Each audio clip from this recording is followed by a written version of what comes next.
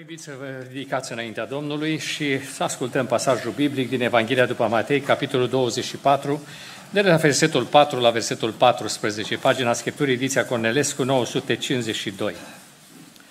Evanghelia după Matei, capitolul 24, de la versetul 4. Drept răspuns, Iisus le-a zis, băgați de seamă să nu vă înșele cineva, fiindcă vor veni mulți în numele meu și vor zice, eu sunt Hristosul și vor înșela pe mulți. Veți auzi de războaie și vești de războaie. Vedeți să nu vă spăimântați că toate aceste lucruri trebuie să se întâmple. Dar sfârșitul tot nu va fi atunci. Un neam se va scula împotriva altui neam și o împărăție împotriva altei împărății și pe alocurile vor fi cu tremure de pământ, foamete și cium. Dar toate aceste lucruri nu vor fi decât începutul durerilor. Atunci vă vor da să fiți chinuiți și vă vor omorâ și veți fi urâți de toate neamurile pentru numele meu atunci mulți vor cădea și se vor vinde unii pe alții și se vor râ unii pe alții. Se vor scula mulți proroci mincinoși și vor înșela pe mulți. Și din pricina înmulțirii fără de legii, dragostea celor mai mulți se va răci. Dar cine va răbda până la sfârșit, va fi mântuit. Evanghelia aceasta împărăției va fi propovăduită în toată lumea ca să slujească de mărturie tuturor neamurilor. Atunci va veni sfârșitul. Amin. Amin. Vă rog să reocupați locurile. Iubiți frați și surori, stimați oaspeții casei Domnului, aș vrea în seara aceasta să vă dețin atenția cu câteva gânduri din mesajul pe care Domnul Isus l-a spus atunci în fața ucenicilor și repetă astăzi prin cuvintele Evangheliilor în fața noastră. Niciodată omenirea nu s-a confruntat cu provocări pe care le-am avut acum. A fost pandemia care a fost la nivel de mondial și au avut grijă să o întindă peste toată lumea, să închidă pe toți în case, să aibă grijă ca oamenii să nu socializeze și așa mai departe nu și-au închipuit că după pandemia aceasta, Putin, fără acordul lor, va începe un război devastator în Ucraina, care aduce după el criză alimentară, criză financiară, criză energetică și toate celelalte crize cumulate la momentul actual. Nu știm încă unde se termină. Am vrea să ne anunțe cineva, tot ăștia fac pronosticuri când se termine războiul și începem ca înainte. Toți vor ca înainte. Este drept că înainte de pandemie, chiar și bisericile creștine erau din ce în ce mai goale. Deci avem grijă să ne facem concediile prin Antalya, avem grijă să ne gândim la casa noastră să mai adăugăm un etaj, avem grijă să ne gândim, domnule, dar ne trebuie și o piscină. Am început să ne spargem în figuri în diferite locuri și dintr-o dată am aterizat forțat și ne-am trezit că toate resursele noastre sunt blocate nu de noi, ci sunt blocate la nivel mondial. Și numai atât, și actualmente vrem să decolăm din nou, când ne-am învățat în stilul respectiv. Din punct de vedere istoric am intrat într-o pâlnie. Când pâlnia e mai largă, te mai învârți așa. Când în schimb ai intrat în șuvoiul ăla care începe a curge, trebuie să te duci după cum curge apa mai departe. Trebuie să te adaptezi vremurilor și timpului. Și credincioșii ar trebui să înțeleagă ce vremuri trăiesc. Pentru că sunt anumite semne care sunt începutul durerilor. Sunt semne care ne arată că aceste dureri încep să se acutizeze și noi trebuie să prindem lucrul ăsta și să ne pregătim. Nu ne poate lua prin surprindere sau ar trebui să nu ne ia.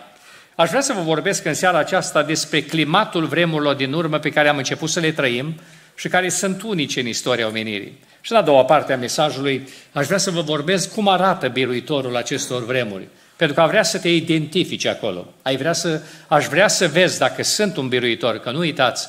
În cartea Apocalipsului ni se spune că cei ce intră în împărăția lui Dumnezeu sunt doar biruitorii.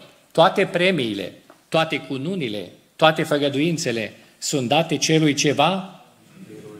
Dar care e pe locul 2, 3? Unul care vrea premiul de consolare, l-a enervat careva și nu a mai venit la adunare, o împrumuta careva bani și nu i-a mai dat înapoi. La ăsta nu-i se dă vreun premiu de consolare. Hai băi, nu meriți tu premiul întâi. Da, să dăm. Nu, nu. Toate premiile sunt pentru biruitori. Amin. De aia trebuie să te califici în domeniul ăsta.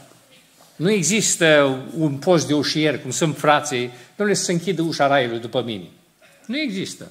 Bine, bine și spune că atunci când ne mântuiește Iisus Hristos, nu ne face ușieri, sau cum unii gândesc, băi, să mătur frunzele la pomul vieții. Să am grijă acolo să le mătur, să le strâng eu. Dumnezeu nu are nevoie de salubritate, nu pentru asta te-a mântuit. Ci Domnul Iisus spunea, cel ce va birui, va sta pe scaunul meu de domnie, după cum și eu am stat pe scaunul tatălui meu de domnie. Deci când te-a mântuit Dumnezeu care este împărat, te-a făcut nu o slugă, te-a făcut copilul lui și copiii împăratului totdeauna sunt prinți. Ei domnesc, de aia spune Scriptura că noi trebuie să ne învățăm să domnim în viață. Doamne ajută! Ca atare, ori te ridici la nivelul ăsta, dar nu-ți imagina, lasă frate, eu nu sunt așa pocăit ca alții, nu sunt eu așa serios ca alții, dar un loc acolo după ușă s-a găsit. Nu se găsește. Dacă ai loc, ai pe tron. Vrei să fii pe tron, trăiește la nivelul ăsta. Doamne ajută! Climatul vremurilor din urmă este caracterizat prin câteva lucruri unice. Primul lucru pe care vreau să-l subliniez este versetul 22 din același capitol, Matei 24, care spune așa, Și dacă zilele acelea n-ar fi fost scurtate, nimeni n-ar scăpa, dar din pricina celor aleși, zilele acelea vor fi scurtate. Unul dintre lucrurile pe care le trăim actualmente și dacă comparăm cu bătrânii noștri, cu bunici sau cine mai are străbunici, este că timpul la momentul actual s-a condensat, s-a comprimat. Trăim aceleași 24 de ore. Dar nu știu cum se face, te scoli de dimineața, îți propui câteva lucruri, dacă realizezi unul maxim și seara, și ala trebuie să te duci la culcare. Acum am sărbătorit nașterea Domnului anul trecut și uite, de, iară suntem aici. Timpul parcă zboară. De ce? Că din punct de vedere al unor oameni care studiază, a unor oameni care studiază fizica, se vorbește că la momentul actual, din cele 24 de ore pe care le trăiau bunicii noștri, noi trăim efectiv 16 la momentul actual și timpul în continuare se condensează. Te întâlnești câteodată cu bătrâni care mai sunt printre noi și ei vorbesc. Băi, eu nu știu cum la, în, la momentul actual nu avem tot timp. Noi nu avem mașină de spălat. Noi nu avem robot de bucătărie. Noi nu avem aparatură electrocastică ca să ne scutească timp, cum aveți voi. Și noi, efectiv, cam așa lucram. Ne sculam de dimineață pe la 5 sătui de somn, apoi mai trebăluiam ceva pe lângă casă, după care plecam la ogor, că fiecare ne ocupam cu un ogor, cu săpatul și prășitul acolo. Când dădea soarele mai tare, ne retrăgeam acasă. Mai trebăluiam pe la umbră, dormeam bine de amiaza, mai discutam cu vecinii câte ceva și apoi spre seară, când soarele nu bătea așa tare, mergeam din nou la ogoarele noastre să le lucrăm. Când aproape dădea întunericul, ne întorceam acasă, discutam cu vecinii, mâncam semințe de bostan, discutam de ce știam, care erau credincioși, discutau din Biblie până seara târziu, mai vorbeau din nopți de veche atunci ei, la momentul respectiv, după care când se încheia totul, sătui de ziua respectivă, ne duceam în fândul standolei să ne culcăm liniștiți și dormeam și a doua zi dimineață eram la 5 fresh, din nou pentru o zi de muncă. Și noi întrebăm, din anul 2022, toate astea într-o zi? Toate astea într-o zi? Că parcă povestești de, de, de o săptămână, mai. Toate astea într-o zi. Pentru că aveau timp. În vremurile din urmă, Dumnezeu, ca să rezistăm la păcat care i expus copiilor în față, s-au dat o grămadă de bariere în calea faptului să ajungi la păcat. Ați auzit de dragoste la prima vedere și de o noapte? Toate astea sunt la modă. Toate astea la modă. Chiar cel ce nu știe și n-a experimentat este tratat ca un om perimat, rămas în urmă. S-au dat la o parte bariere, s-au dat la o parte tot felul, să alungă omul la păcat cât mai repede. Și din pricina timp, vremii acestea păcătoase în care păcatul te asaltează, Dumnezeu, nu pentru toți, pentru aleșii Lui a făcut un lucru nemai auzit, a scurtat zilele. Te învârți de trei ori, te gândești anumit, păi, a venit seara, iar o mai trecut o zi, iar s-o mai dus. Aș vrea să vă spun, dacă bogații și săracii, dacă occidentalii și esticii se plâng toți de lipsă de timp, singurii care ar trebui să nu se plângă că n-au timp sunt aleșii, adică credincioșii. Doamne ajută! Când vezi totdeauna că n-ai timp, băi, să spui, Dumnezeu a făcut pentru mine lucrul ăsta, măi, să rămân în credință, să mai vin la adunare. Și pentru că nu-i timp, stimații mei, trebuie să așezi lucrurile în ordine sau în prioritate. Nu ai timp de toate lucrurile. Nu ai vreme de toate lucrurile. Poate ți-ai gândit să mai faci o școală, nu-i rău. Poate ți-ai gândit să mai faci o casă, nu-i rău. Există posibilități, dar puneți lucrurile în ordine. Pentru că societatea noastră în care trăim n-are timp de trăit în păcat. Și din pricina aceasta este o foarte mare răzvrătire. Oamenii pe, pe plesneală fac anumite lucruri, la, la derută le fac așa, pentru că nu au timp să le așeze la locul lor. Credincioșii ar trebui să se gândească, pentru că n-am timp, nu o să am vreme de toate lucrurile. Care sunt lucrurile importante? Primul lucru care ar trebui să te gândești că e important e familia ta. Fă-ți timp pentru ea. fă timp să comunici. Câteodată trăim ca străini sub același acoperiș. Câteodată ne întâlnim și nu pricepem ce vrea celălalt. Nu știm luptele celuilalt. Și sunt oameni de lângă noi. Și sunt oameni de natura noastră pentru că pe alt, alt om din alt neam mai greu îl pricep, e după tiparul neamului lui. Dar pe cei din casa mea ar trebui să-i pricep. Și ar trebui să-mi fac timp să-l înțeleg, că mai bine ca mine cine să-i înțeleagă. Fă-ți timp pentru asta, apoi fă-ți timp pentru biserică. Fă-ți timp să ai părtășie cu frații. Fă-ți timp să dezvolți darurile pe care Dumnezeu ți le-a dat, pentru că sunt singurele lucruri care rămân, frații mei. După ce pământul cu tot ce este pe el, implicit lucrurile la care punem acum valoare, nu vor mai fi decât cenușă în istoria omenirii, vei rămânea doar cu cei ce ai cântat, te-ai rugat, ai zidit, ai făcut pentru Domnul tău. Doar acestea rămân. De aceea te-aș ruga, pune lucrurile în ordine și în prioritate. Gândește-te, poate nu o să pot să-mi schimb geamurile la casă din alea de lemn vechi cu altele termopan, că n-am nici bani la momentul actual, n-am să, absolut nimic. Dar îmi fac timp pentru lucrarea Domnului. Îmi fac timp să vizitez văduva și orfanul. Îmi fac timp să așez în viața mea lucrurile exact în prioritatea care trebuie. Te gândești în modul acesta? Pentru că doar așa se poate spune de aici, fiți atenți că marți seara e, e timp de rugăciune, să fie tot așa de plină biserica, Doamne ajută. Știți de ce nu-i plină? Pentru că avem alte priorități. Alte priorități. În, aici, în biserică, marți seara, va fi prezent dincolo de frați și de surori, de păstori, de proroși, dacă or fi, este totdeauna prezent Iisus Hristos. Și aș vrea să vă spun, ceea ce îmi place la Iisus Hristos, El vine în mijlocul nostru. Probabil cântarea nu va ieși așa de bine. Vor cânta și unii mai fals puțin. Iisus nu iese afară. Cel ce dă îndemn o bâlbâiește așa, o duce. Iisus nu iese afară. El rămâne să ne onoreze până la capăt, slăvit să fie Domnul. Noi am devenit mai sensibili, așa, așa. nu e armonizată cântarea. Ă, cine l-a pus pe tânărul ăsta să dea îndemn? Uite să bâlbâi, trebuia să pui un profesionist, dar toți profesioniștii s-au bâlbit la început. De unde să înceapă? De unde să plece să slujească Domnului? Ce frumos este că noi suntem finuți. Domnul rămâne ca să continue să binecuvinteze pe ăla care s-a bălbuit data viitoare să bălbui mai puțin. Pe ăla care a cântat puțin fals să îndrepte, să prindă urechea lui să se dezvolte. Pentru că cine disprețuiește ziua începuturilor slabe? Noi le disprețuim. Domnul nu le disprețuiește. Și pentru că Domnul e prezent aici, după cum se spunea, nu ne pasă nouă ce fac ceilalți. Nu ne pasă că altul spune, eu am de lucru, domnule, cine n-are de lucru să ducă la rugăciune. Nu, pe mine m-a chemat Domnul să-L urmez pe El, Doamne ajută. Aleluia. Marți seara, unde e Domnul? Și o să-L găsești totdeauna în casa Domnului. Slăvit să fie Domnul. Fă-ți timp să așezi lucrurile în prioritate. Care sunt lucrurile pentru tine prioritare și așează-le acolo. Să știi că copiii tăi vor avea grijă să pună aceleași priorități. Pentru că lumea în care trăim nu poate face asta. Sunt foarte stresați, foarte panicați, că nu pot ajunge la păcat cum și-ar dori. Efectiv, n-au timp pentru așa ceva viața omului, cu toate că s-a lungit puțin din cauza descoperirilor medicale și a medicamentației care este, cu toate astea nu le permite să trăiască cam cum ar vrea ei. Și din cauza aceasta lumea mai are un aspect, panică, stres și descurajare foarte multă. Sfânta Scriptură spune în uh, același context, în Luca capitolul 21, cu versetul 25 în felul următor.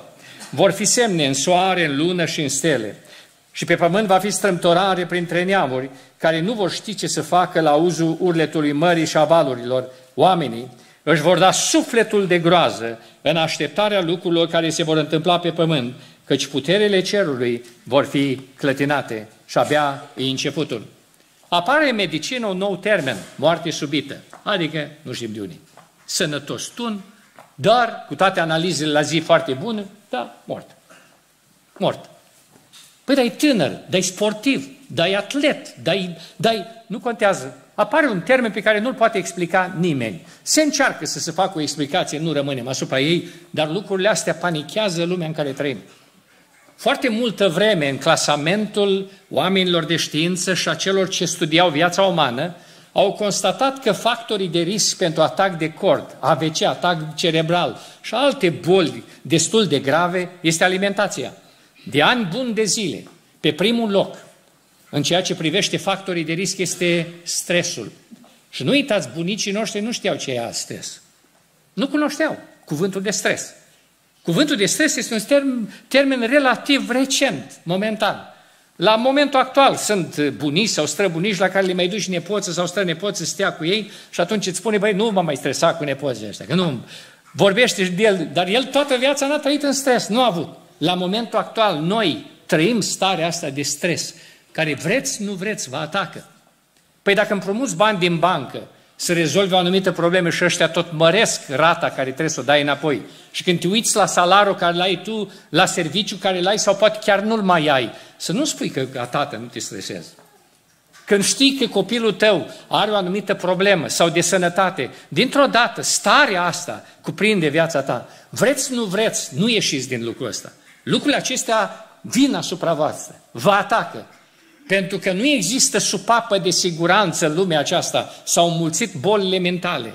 Rata sinucidiilor crește peste tot din cauza panicii, a stresului și a fricii zilei de mână, de mâine. Toate știrile converg pe aceeași direcție, că nu știm ce se vor întâmpla. Domnul ne spune, este începutul durerilor și a suferinței. Dar noi vom fi bombardați în fiecare zi. Și lucrurile acestea vor afecta ficatul, lucrurile acestea vor afecta stomacul, lucrurile acestea te vor afecta în cadrul superior. La un moment dat te vei gândi ce va fi. Și iubiții mei, aș vrea să vă spun, ăsta e mediul în care urmează să trăim noi și copiii noștri. Noi și copiii noștri. De-aia e importantă marța seara. Și nu numai. Pentru că rugăciunea faci ca presiunea aia care se strânge înăuntru, că oricum se strânge, să vii în fața unuia care o poate rezolva. Să vii în fața lui și să spui, Doamne, sunt unul din cei peste 8 miliarde de oameni. De zilele trecute sunt peste 8 miliarde. Dumnezeu n-ar lăsa să existe un singur om pe pământ decât ar putea asculta el la un moment dat. Ca atare, Dumnezeul pe care îl slujim noi este un Dumnezeu atotputernic. Și omul muritor care vine, vine și spune, Doamne, eu nu pot schimba circumstanțele, nu pot schimba împrejurările, dar pot veni în fața ta să-ți spun că am o durere, am o suferință, am o temere, am o anumită stare, stau înaintea ta, dăm putere, Doamne, dăm călăuzire, dăm har, dăm lumină și nu uitați, miliarde de îngeri așteaptă doar ca tu să-i spui ce problemă ai. Că Domnul Iisus Hristos vine și spune, nu aveți. Nu pentru că eu n-am sau nu vreau să vă dăm, sau n-am pârghii să vă ajut. Nu aveți pentru că nu. Vorbiți în continuu din grijorările voastre. Vorbiți în continuu de temerile voastre. Dar nu vorbiți cu cine trebuie, mai. Vorbiți între voi și vă panicați, vă stresați, dar nu vorbiți, nu veniți în fața tronului meu să-mi spuneți problemele pe care le aveți voi, eu să le ascult și să dau o poruncă simplă a unui înger care merge înaintea ta să-ți deschidă căile și să-ți dea pace, să te culci și să adormi în liniște, că numai Dumnezeu veghează asupra casei tale. Frații mei, foarte mulți dintre noi, pentru că ne lipsește rugăciunea, suntem foarte panicați. Și rugăciunea este o formă în care vii înaintea Domnului. La un singur autor creștin am aflat, poate v-am mai spus altă dată, dar chiar dacă mă repet, nu e o problemă, am aflat uh, de ce în Biblie avem psalmii răzbunării. Cartea Psalmului este o carte inspirată de Duhul Sfânt și așezată în canonul Sfintelor Scripturii. Dar noi citim Psalmul 23, noi citim Psalmul 91, noi cităm din Psalmul 1, psalm frumos. Dar de când n-ați auzit la timpul de rugăciune numele Domnului vă taie în bucăți? De când ați mai auzit uh, psalmul ăia e răzbunării și trei sferturi dintre psalmi, psalmii răzbunării? Sunt trei sferturi acolo. Ce caută ăia în canonul Sfintelor Scripturi? Psalmii aceia au fost compuși de oameni la adresa lui Dumnezeu. Au fost forme de exprimare a unor oameni al lui Dumnezeu în situații dificile și critice la adresa lui Dumnezeu. De ce? Atunci când cineva îți face un rău, te ofensează, voit sau involuntar. În momentul respectiv se strănește o reacție în tine. Reacția aceea care se strănește în tine vine să spună că trebuie să-l pui la punct pe omul respectiv, trebuie să-i spui ceva, trebuie să discuți. De obicei nu avem tăria să discutăm cu el, dar avem tăria să discutăm pe ăștia pe lângă noi. Dar tu mi-ai auzit și mi-a făcut fratele? Tu ai auzit? Ăla spune, bă, la tine ai scăpat ușor, să vezi ce mi-a făcut mie. Și uite așa ne încurajăm cu ghilimele de rigoare unii pe alții, împotriva unora sau alții. De ce? Pentru că ne-a făcut cineva un rău. Lucrul acesta se cheamă în Biblie vorbire de rău, bârfă, clevetire și defăimare. Și atenție, toate astea sunt păcat chiar dacă ceea ce susții tu e adevărat. Încă o dată vă spun, toate astea sunt păcat, chiar dacă ceea ce spui tu, că sunt frați care spune, frate, te-am prins că l-ai bărfit pe frate. Ce? Ce nu e adevărat? Dar nu te-a pus nimeni să mărturisești păcatele altora. Tu ai datoria să-ți mărturisești păcatele tale. Cum de-ai venit expert să de mărturisești păcatele lui? Lasă-l pe el să-și mărturisească păcatele. Nu te-a chemat nimeni să-i faci tu reclamă la păcatele lui. Ca atare, dacă faci păcatele acestea, ai nevoie de iertarea Domnului și de pocăință. Doamne ajută! Dar dacă supărarea aia, panica aia, stresul ăla, nedreptatea aia care ți-a făcut ăla, mergi dintr-o dată în fața tronului Dumnezeu și spui, Doamne, m-a enervat ăsta, s-a luat din nevastă, s-a luat de copiii mei, nu știu ce are, toți scarpi în atâta, îmi vine să-l prind, îmi vine să fug după el, îmi vine să-i zic niște vorbe, să-l tencuiesc pe părete, nu altceva. Îmi vine câteodată, chiar câtă eu din nervos, așa prind de gât, să, să lipesc puțin, să vadă că am și forță fizică. Îmi vine să-i fac toate astea, Doamne, Tu ce zici? Și Domnul de acolo de pe tron spune, eu îl iubesc mai mult decât se iubește el. Lasă-l pe mâna mea. Și știți că pleci din sala tronului liniștit că ai făcut și tu psalmul tău, chiar dacă eu nu răzbunării, dar l-ai făcut pe a tău. Sunt 150 de psalmi. De la 150 și încolo aveți libertate, frații mei. Când te enervează cineva, nu vorbi de rău. Fă un psalm, Doamne ajută. Eu sunt păstor și văd o grămadă de lucruri. Și aud o grămadă de lucruri. Aș vrea să vă spun că, sincer, fac psalm. Merg în prezența Domnului. Și cum mă liniștește Domnul, nu mă liniștește nimeni. Și mulțumesc Domnului că nu m-a lăsat să fac și îmi trecea mie prin cap. Că atenție, ca să te răzbun nu trebuie să te duci. Bă, m-a supărat un frate, m-a supărat un alt păstor. O făcut cineva mișto de mine. Nu spun, băi frate, mă duc la o școală de răzbunare. Să văd și trebuie să-i fac ăsta. Pe loc mi se dă. Pe loc știu ce am de făcut cu el. Ca să învețe minte și nu-ți mai iei niciodată de mine. Dar înainte de a face lucrul ăsta, mă duc înaintea Domnului și fac un psalm. Doamne, m-a enervat ăsta, așa îmi venea să-i spun câteva, așa îmi venea, tu ce zici? Și totdeauna de la tron spunea, lasă-l pe mâna mea. Și constat că Dumnezeu lucrează și mi-l face cel mai bun prieten. nu e așa că greșeam dacă mă luam după pornirile mele? Frații mei, Dumnezeu e bun, slăvit să-i fie numele. Panica și stresul face ca să ai reacții câteodată necontrolate. Te-aș ruga tare mult faptul că te enervezi des, faptul că a pus să vorbești pe frați, faptul că ești așa de sensibil la vorbe și efectiv cineva te folosește mercenar în război altora și nici măcar nu-ți dă bani, îți dă niște vorbe doar. Îți dă niște vorbe. Vin eu la voi aici și băi, fraților, stați puțin, da, să vă spun eu care e situația cu un slujitor, de la voi sau din altă parte. Și pentru că eu te prind cu vorbele alea, tot te alimentez și tu pornești un război doar pe vorbele mele. Cum spunea Ionatan, nici nu verifici măcar lucrul ăsta. Știi ce ești tu? Mercenar în războiul pe care l-am eu cu fratele meu. Eu nici măcar cu fratele dau pașa Domnului, zâmbesc, de eu mercenarii mei, care plătiți cu vorbe rele, îi ridic împotriva lor. Și câteodată oamenii ăștia nici nu se trezesc ca să spună, domnule, nu vreau să fiu un om fără căpătâi. Când Biblia vorbește de oameni fără căpătâi, vorbește de oameni care au toate mădularele, dar nu gândesc cu capul lor, gândește altul în locul lui lor. Verifică și tu informațiile astea. Fii atent la lucrurile acestea. Te-a ales Dumnezeu să fii în poporul lui Dumnezeu. Te-a șugat tare mult. Cere de la Domnul înțelepciune ca panica, stresul și luptele acestea interne să nu te prindă acolo. Ai ceva dispus la adresa mea? Te aștept, fratele meu. Chiar dacă e fals ceea ce vrei să spui tu, sau nu în totalitate adevărat, dar ai măcar tăria să vorbești cu mine. Faceți la fel cu toți ceilalți, Doamne ajută! Și când n-ai curajul să o faci cu mine, scrie un psalm despre mine. Te rog frumos, vin înaintea Domnului cu un psalm, roagă-te Domnului ca Dumnezeu să-mi dea lumină și Dumnezeu are pârghii să o facă. Lăudați să fie Domnul. Panica și stresul va continua să pună amprenta peste fiecare dintre noi. Ultimul aspect a vremurilor din urmă, pe lângă timp scurtat, panică și stres, este ură împotriva numelui Domnului. Societățile în care trăim la momentul actual sunt tolerante cu orice altceva.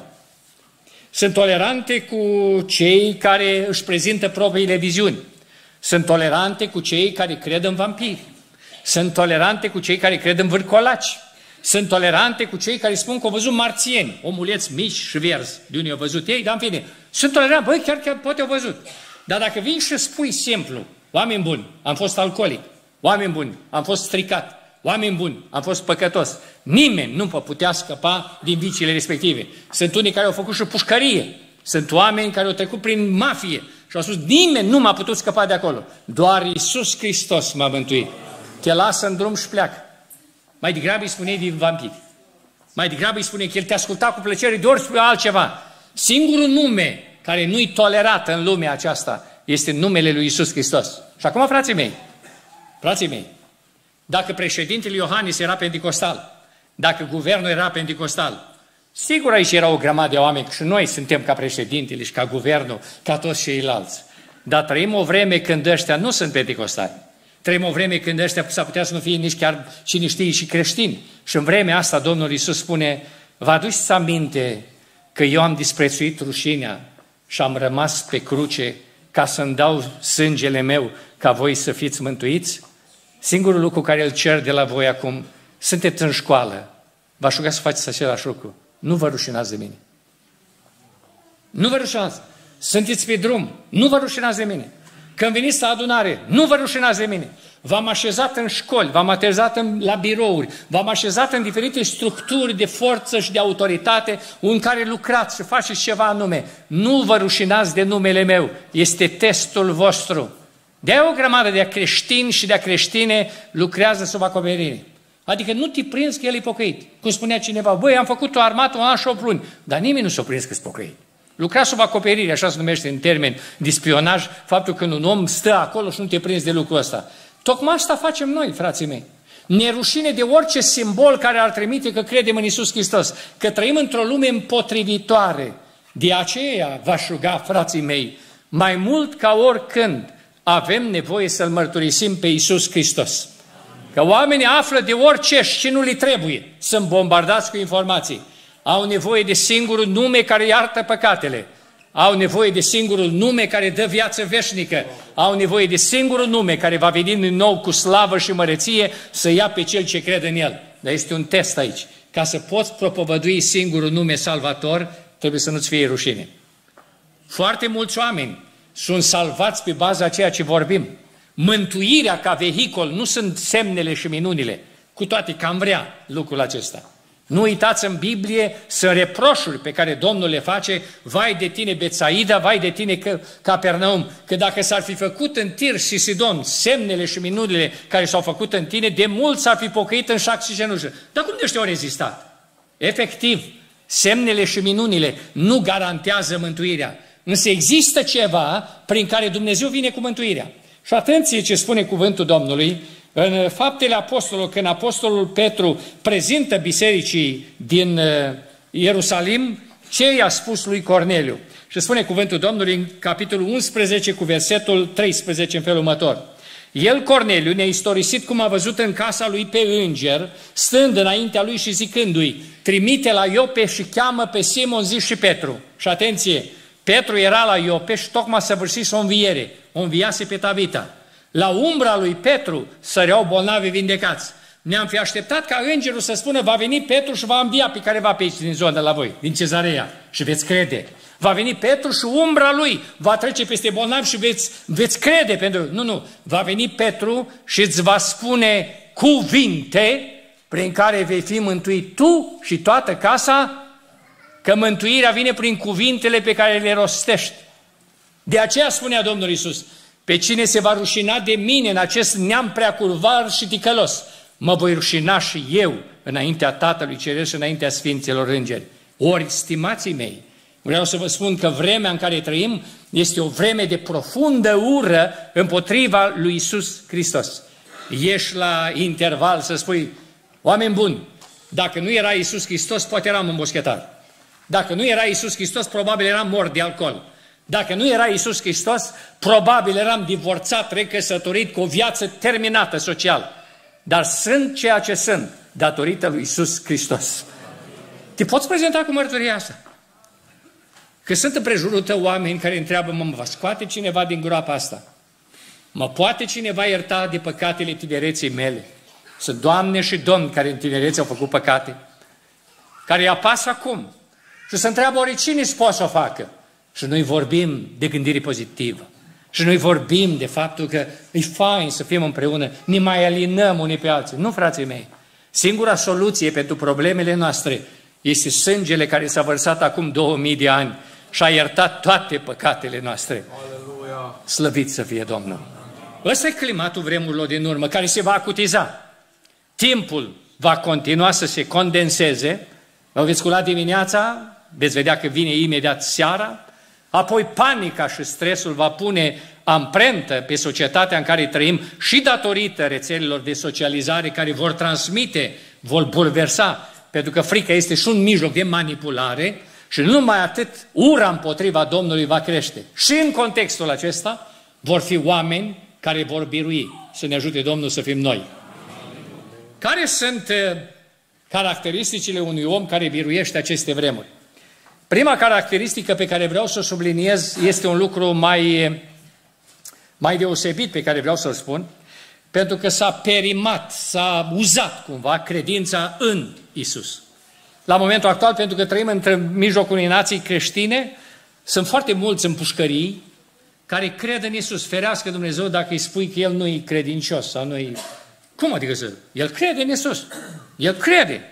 Vezi o grămadă de oameni la tribunal care se judecă și abuzează de dreptul unor oameni, le iau pământurile, efectiv. De el e credincios, el are relații bune cu preotul, cu pastorul, cu toate că face nedreptățile respective pentru niște orăpsiți ai sorții, care nu au reprezentanți grozavi în domeniul acesta legal. Și oamenii aceștia cred în Isus. Ba chiar îi vezi că vie, să miră că nu-i dai dreptul să predici la cât știe el, la cât cunoaște el. Ori, iubiții mei, termenul credința în Isus a cam perimat. De aceea vreau să folosesc un alt termen mai uh, elocvent, așa, pe care l-am găsit într-un singur loc în Biblie, în Apocalipsa, capitolul 14, versetul 12, unde Scriptura spune așa, aici este răbdarea sfinților care păzesc poruncile lui Dumnezeu și credința lui Isus. Pentru că atunci când a venit Isus, a adus o credință autentică, și totdeauna veți vedea că credința lui Isus cuprinde pocăință și credință. Totdeauna când Domnul vorbea despre împărăție, despre credință, insista pe pocăință. De aceea spunea, împărăția cerului este aproape, pocăiți-vă și credeți.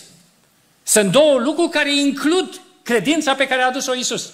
Foarte mulți oameni azi doar cred în Isus și fac ce vor ei.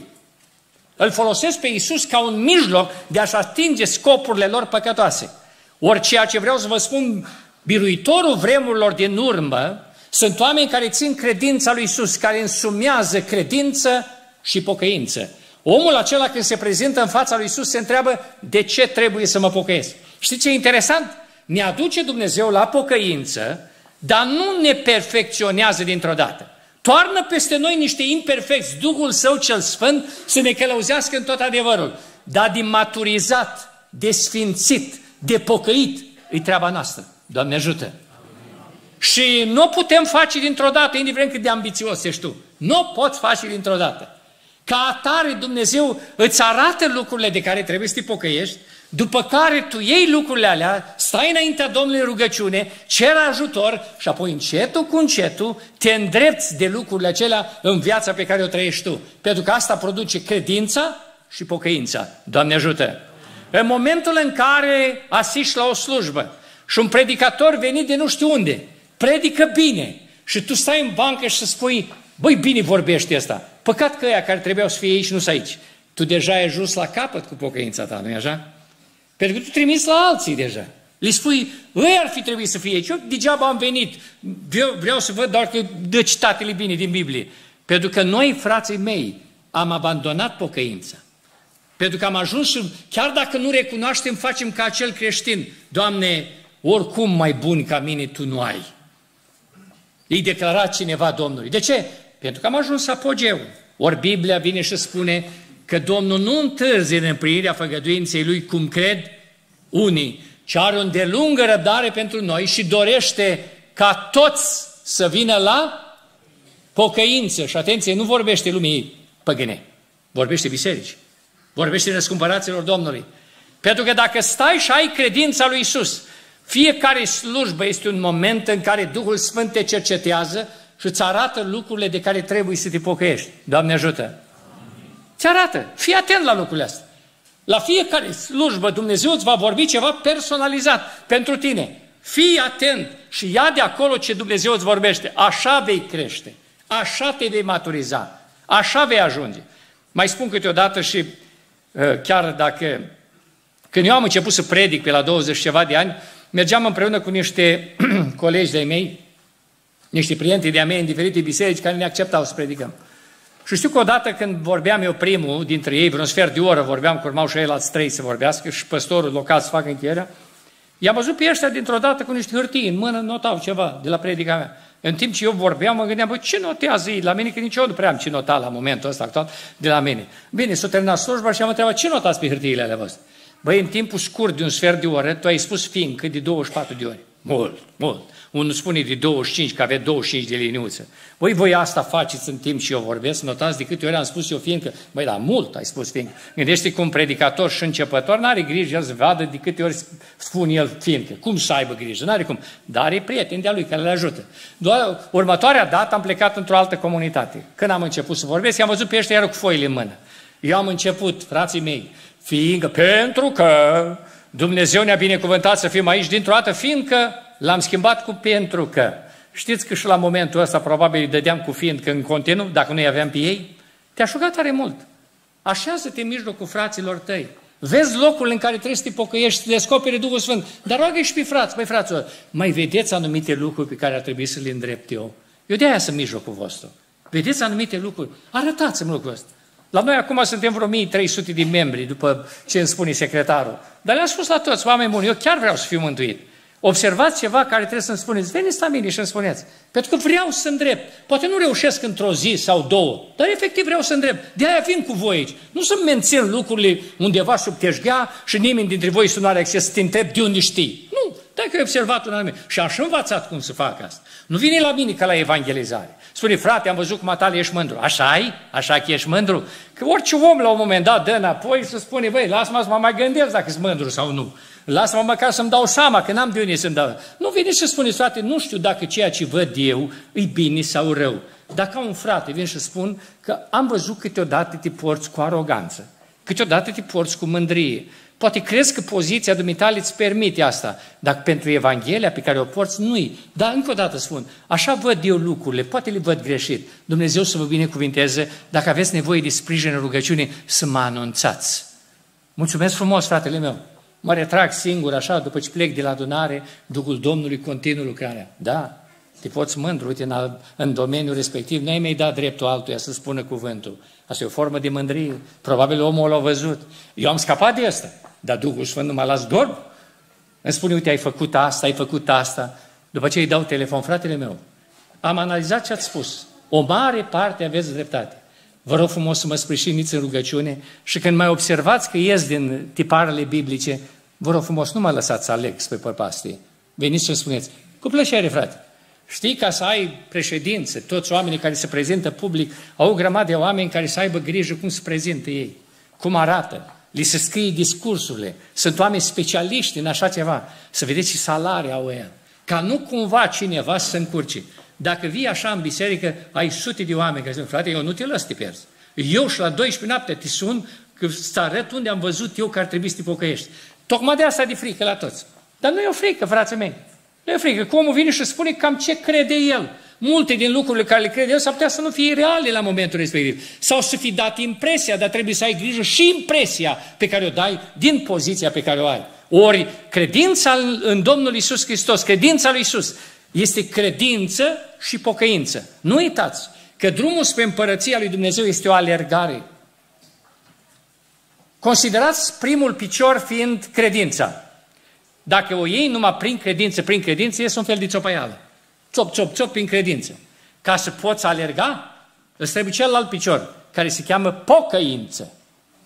Ori, stimații mei, când pui credință, pocăință, credință, pocăință, și duminica, și lunea, și marța, și toată săptămâna, și toată lumea, credință, pocăință, ies o alergare și prins premiu. Doamne ajută!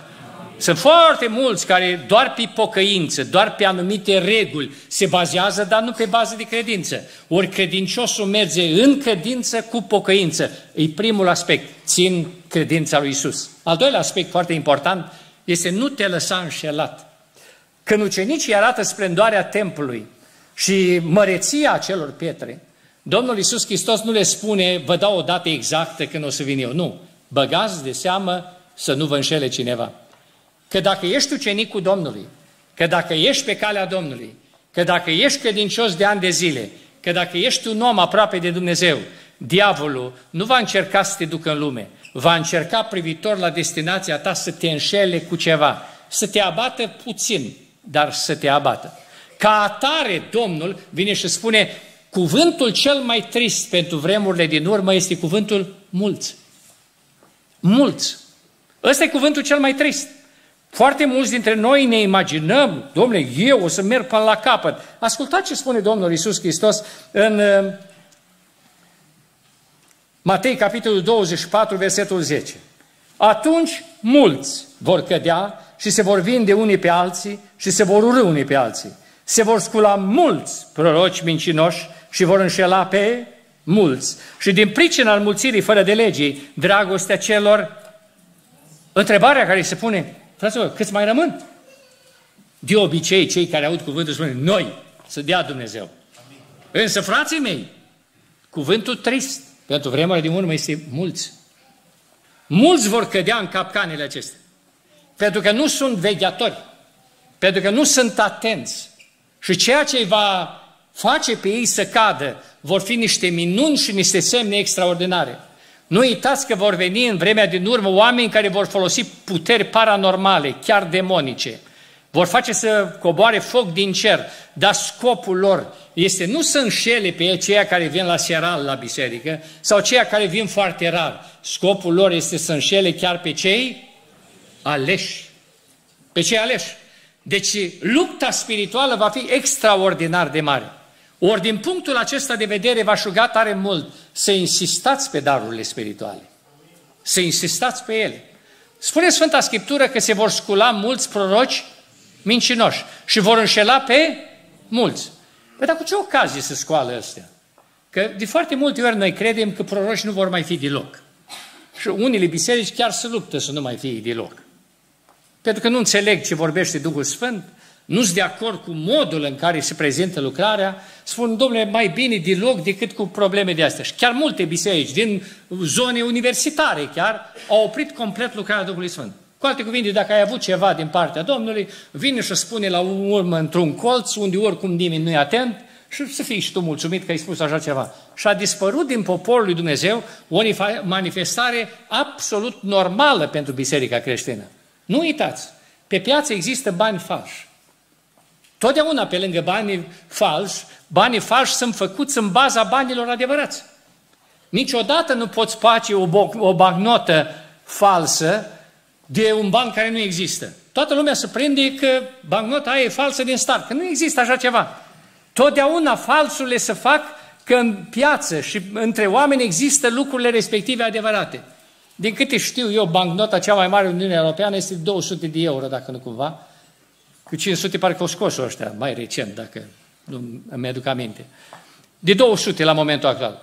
Dacă cineva ar vrea să facă o bancnotă de 200 de euro falsă, are logică, pentru că pe piață există bancnote reale de 200 de dolari și trebuie să te uiți foarte bine care e adevărată și care nu. Dar dacă cineva face o bancnotă de 1000 de euro și iese cu ea pe piață, toată lumea spune că asta ce Fals, că nu există pe piață așa ceva. Cum de vor fi atâția proroci mincinoși? Pentru că pe piață există și cei adevărați. Întreb, biserica voastră are pentru că asta e problema. Noi spunem că vor veni mulți proroci mincinoși, dar știi unde vor avea curs ăștia?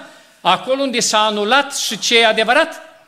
Și ei vor intra ca sigură alternativă în comunitatea respectivă. Și dacă mai sunt însoțiți și de, de precunoaștere, pentru că diavolul știe ce ai făcut în viața asta și îți povestește și uh, seria de pe buletin și îți povestește absolut tot ce ai făcut până acum și te dă pe spate privitor la planurile pe care le are în continuare diavolul cu toate oștirile lui. Rămâi uimit și spui, domnule, numai asta e puterea lui Dumnezeu care poate lucra.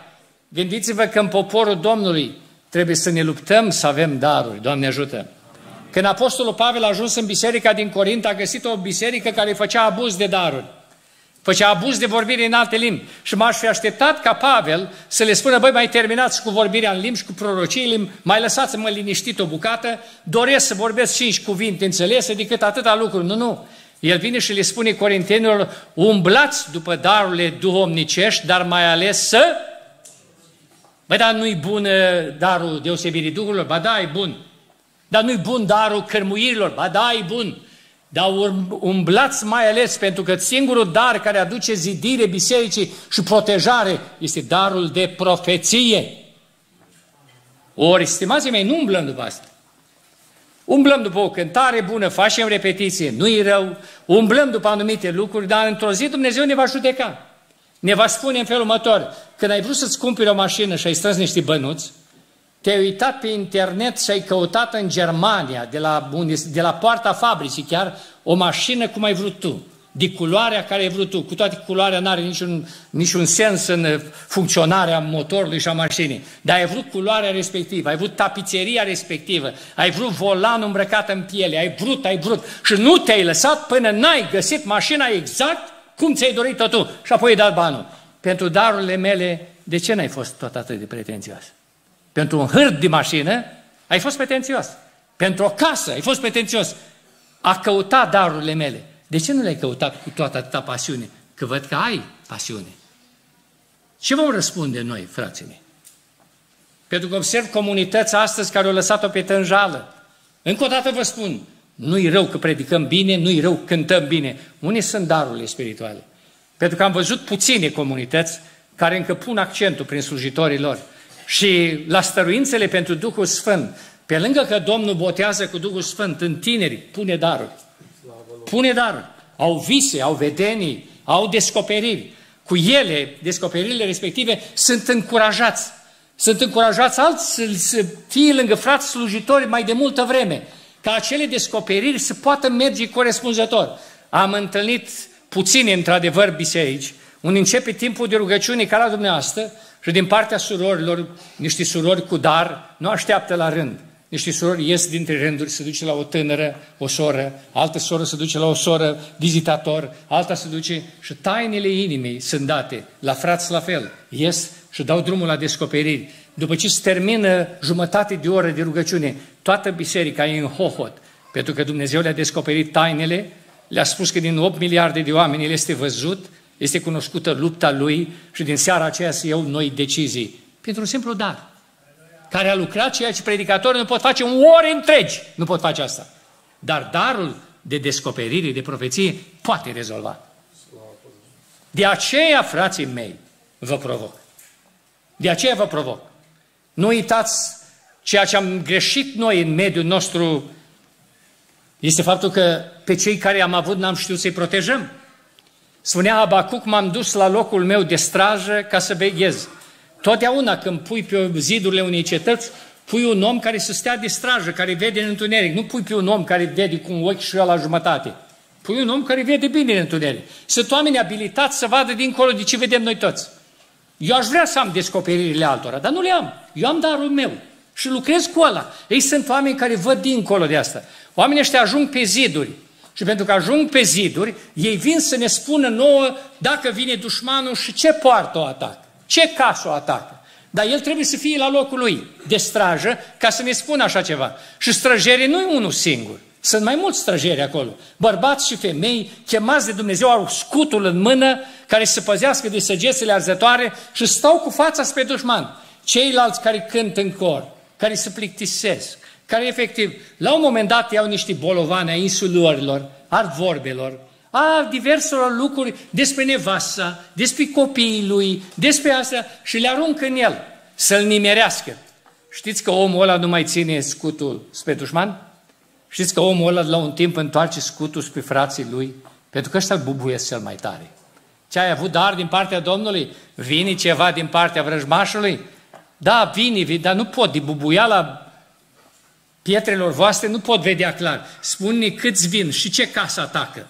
Păi nu vă pot spune, nu văd. Nu ești un proroc exact. De ce? Pentru că noi îl bubuim pe omul ăla. Avem grija lui. Știți că unii s-au dat jos de pe ziduri și nu mai sună din trâmbiță? Știți că sunt surprize între noi că a plecat fata aia sau băiatul ăla și Dumnezeu a avut de gând să ne spună?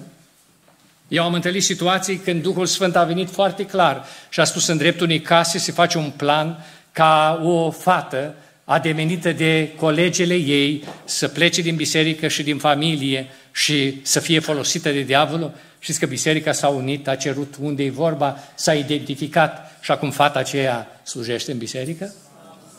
Frații mei, astea sunt la dispoziția noastră. Dumnezeu vine din nou și ne spune, nu aveți. Nu pentru că eu le-am anulat. Pentru că nu cereți, mai, nici nu sunteți interesați, efectiv. Nu cereți așa ceva. Nu trebuie să cer neapărat pentru tine, domnule, să fii cineva. Știi că vorbeam la un moment dat într-o comunitate din Spania, unde uh, s-au adunat mai multe biserici acolo și au făcut o mini-conferință, cum au vrut ei să o facă așa, și la un moment dat a început a cânta un cor.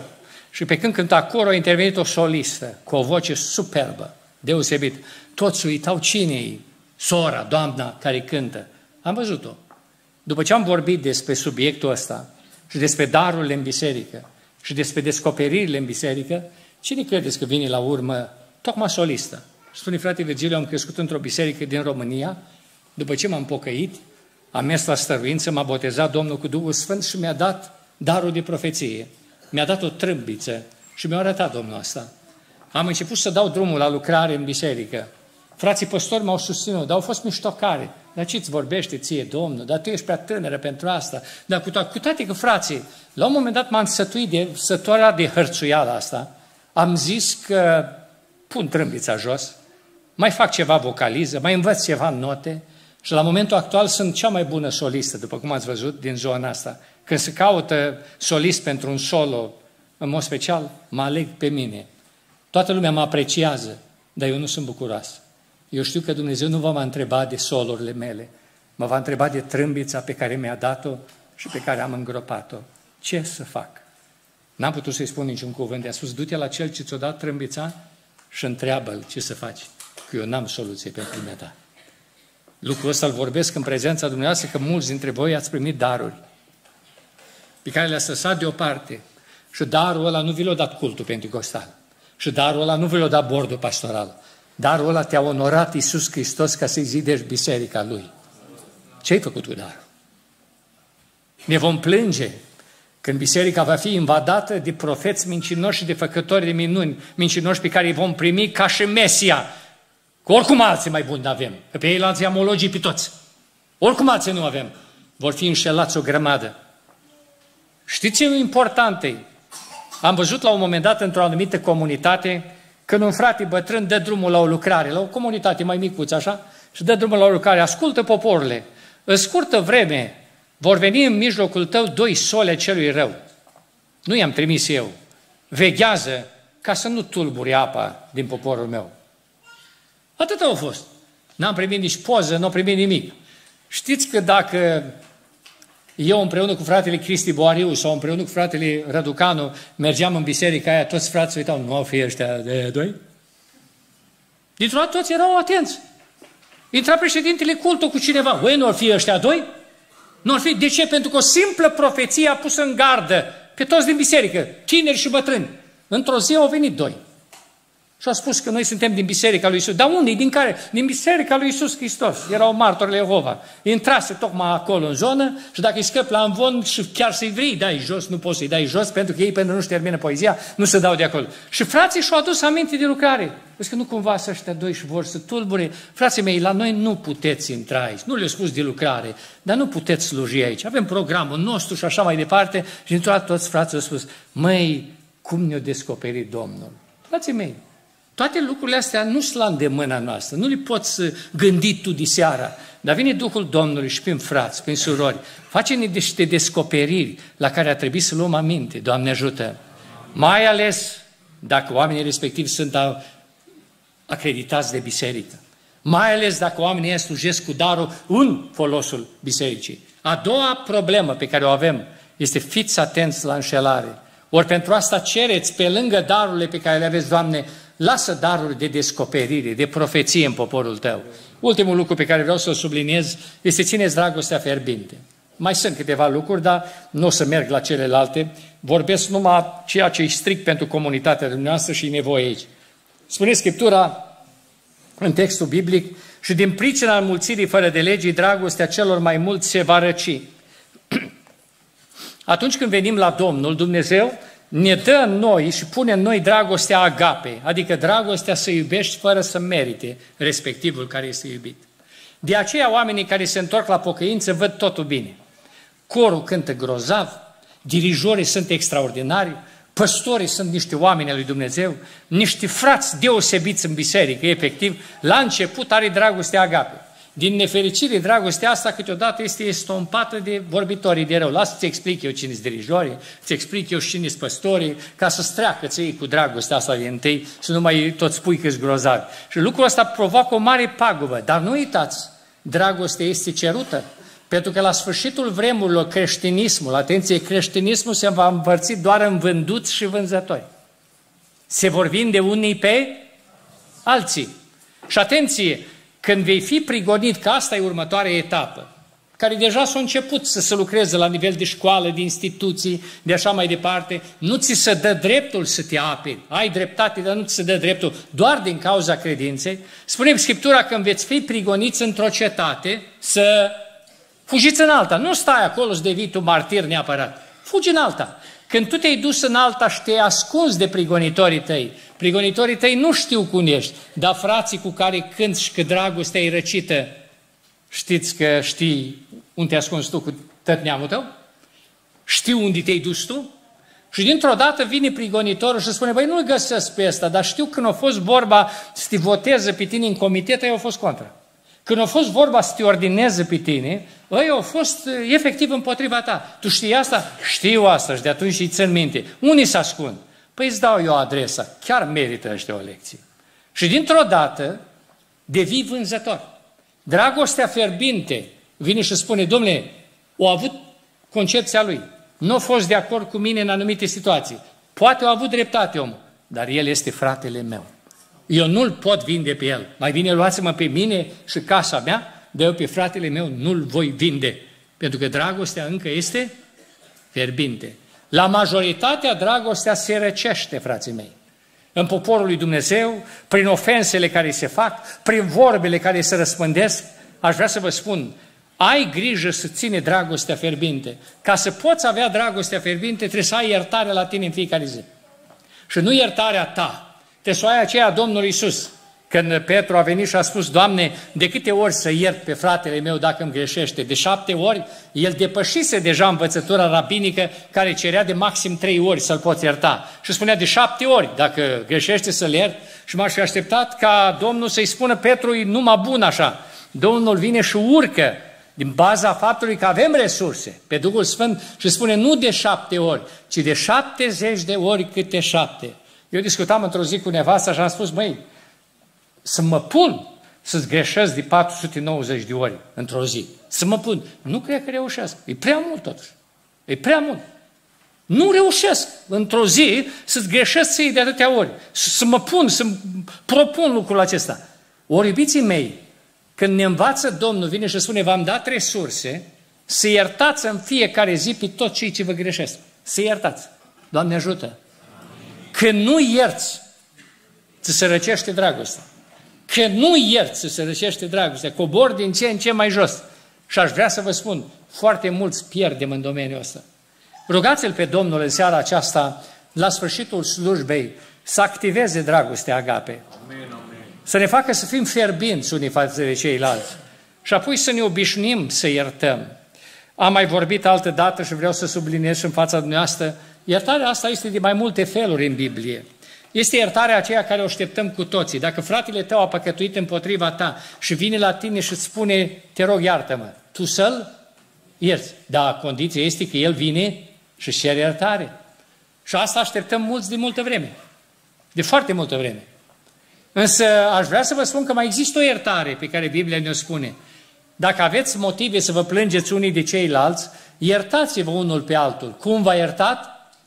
Hristos. Așa, iertați-vă și voi.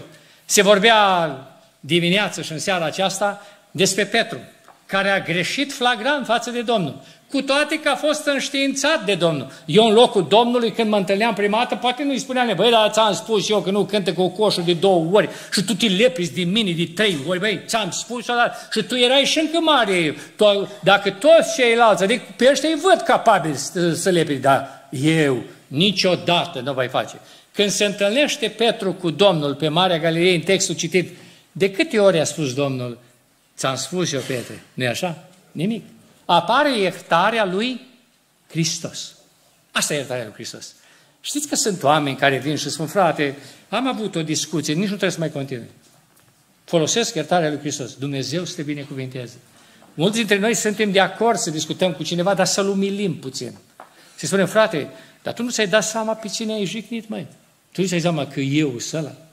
Ce-a fost în capul tău? Ce-a fost în mintea ta de ai făcut așa ceva? Frații mei, asta nu e iertare.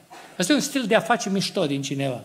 Dacă vrei totuși să ierți, te-aș ruga tare mult, procesează iertarea lui Hristos. Că iertarea asta te face să ai prieteni peste tot. Băi, ăla mă înțelege pe mine. M-a prins într-un moment de aroganță, de, de mândrie. E adevărat că și avem bani atunci. Am venit la el cu un tupeu așa și în loc să-mi dei peste nas, mi-a spus, frate, am înțeles care e situația. Am priceput. Când eu am venit la el să, să-mi cer iertare, în loc să-mi pun întrebări, și ai crezut că dacă ai bani ești mare, ai crezut, nu, mi-a spus, frate, te înțeleg, te înțeleg. Dumnezeu să te binecuvinteze, eu te-am iertat ca Hristos. Amin. Și să te bucuros pleacă omul ăla. M-a înțeles.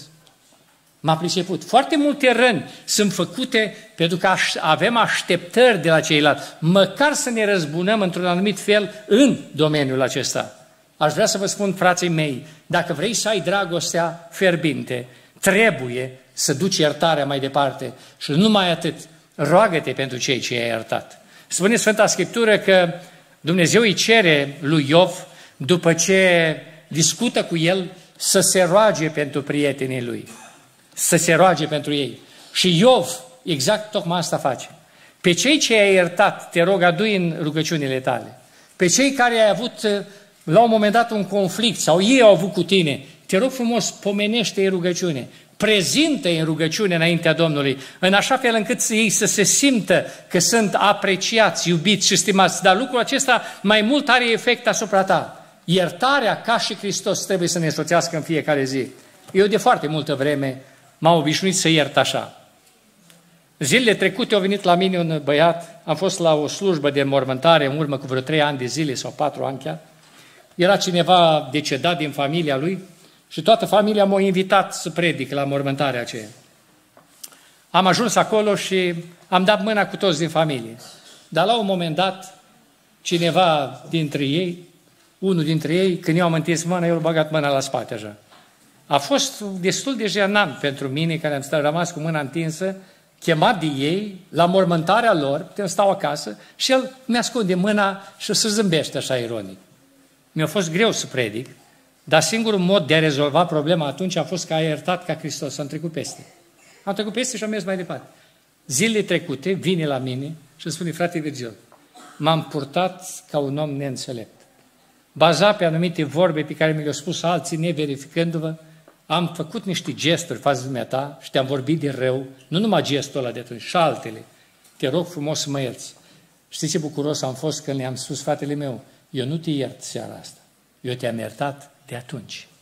De atunci tu ești iertat. Ne-am îmbrățișat și acum plecăm împreună spre împărăția Domnului. Doamne ajută! Iubiții mei, suntem chemați la o asemenea viață. Timpul care îl avem noi acum, pe pământul acesta, este un timp dificil, cu timp scurtat, cu zile scurtate, cu panică, cu stres și cu ură împotriva Domnului. Biruitorii țin credința lui Isus, care e însoțită totdeauna de pocăință. Biruitorii sunt atenți să nu fie înșelați cineva și să roagă ca biserica să aibă vasele ei. Doamne ajută! Biruitorii țin dragostea fierbinte prin multă iertare, ca să n-ajungă vânzător, ci să rămână un copil al lui Dumnezeu până la capăt, că nu este mult. Și Domnul nostru revine, slăvit să fie numele, să ia pe toți cei ce vor birui, ca să înfăie împreună cu Cel ce a biruit pe Golgota ca să ne răscumpere din orice deșertăciune, din felul deșert de viețuire și să ne facă copii ai Lui. Amin. Vă mulțumesc tare mult de ospitalitate de care ați dat dovadă în dimineață și după masă. Vă mulțumesc tare mult pentru rugăciunile pe care le-ați făcut pentru mine. Deja mă simt mult mai bine. Domnul să vă binecuvinteze. Dar vă rog tare mult până la vindecare de plină. Eu vreau să mă simt mai bine când mă simțeam când eram tânăr. Pe baza rugăciunii voastre sper lucrul acesta. Fiți binecuvântați de Domnul. Amin.